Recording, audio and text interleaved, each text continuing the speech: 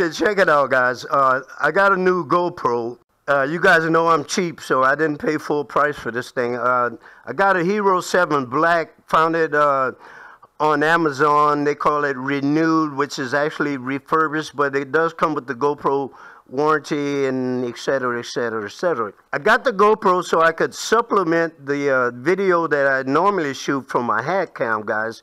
When uh, shooting RC cars and truck videos, some of the best shots come down from a lower position. So my GoPro is basic and it only came with two mounting shoes. I have the curved one and I have the flat one. The GoPro case doesn't come with like a three and a half millimeter standard screw that you can just put on any tripod. They make you buy the GoPro accessories. Okay, so I wanted to mount my GoPro to my Dumbo receiver so that I can capture some low level, uh, not so shaky video or at the same time, I want my GoPro to be versatile enough. Uh, of course, I'm going to be putting it on some of my drones in the future but I also want to be able to mount this GoPro onto one of my vehicles and do some ground level shots from the hood or the dash cam as you might call it guys.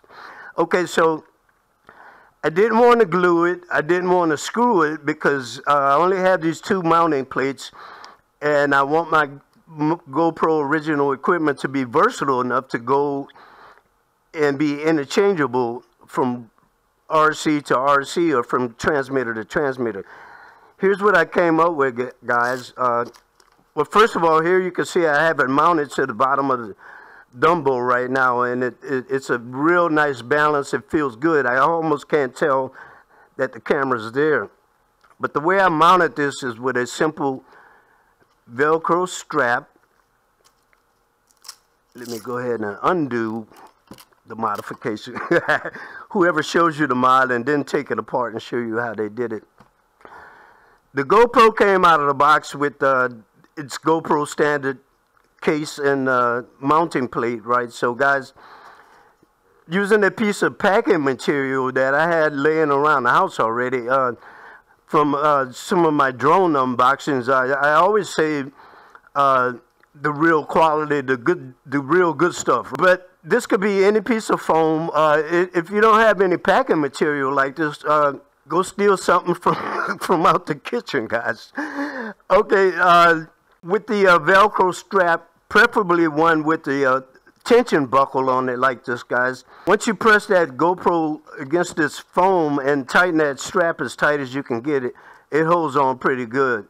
Let's go test it out. Before I take it outside and test it, uh, I can use the GoPro app on my phone to preview my shots and I think I got a pretty good angle. Uh, using as a reference, I got a car about uh, eight feet, nine feet away from me.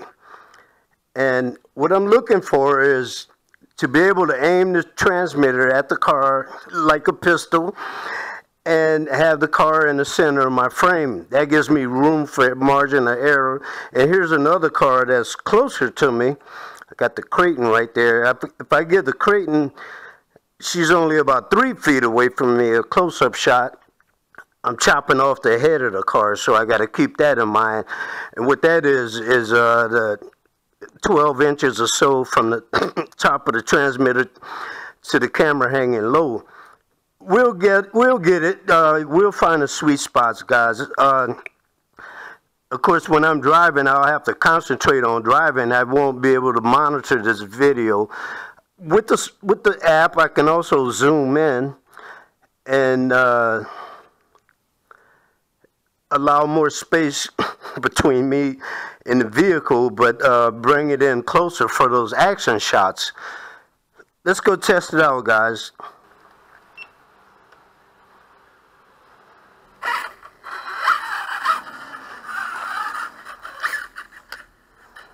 Now one thing I'm going to have to get used to is pointing the transmitter at the car while I drive. Let me check my zoom. I set this up on the app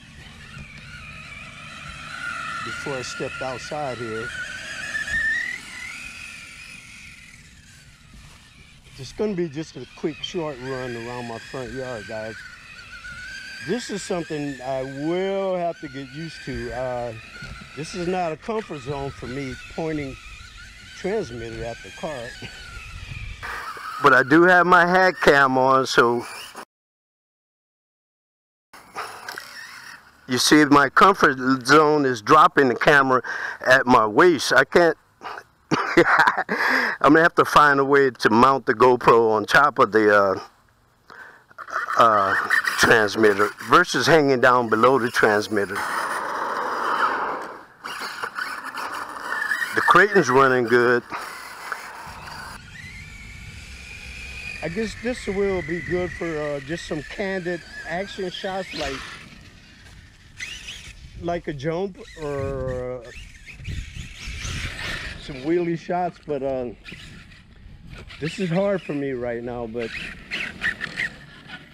we'll go back in the house and see what the video looks like. This is also a good time for me to compare uh, my head cam audio to this new GoPro, guys. Thanks for watching. It's your boy, DJ Soul Force. I'm out of here.